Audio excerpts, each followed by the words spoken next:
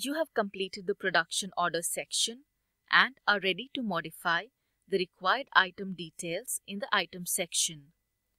In this section, you can view or modify the information related to line number, item number, description, unit of measurement, date required, balance quantity, work order quantity, start date, processing time, end date, and site.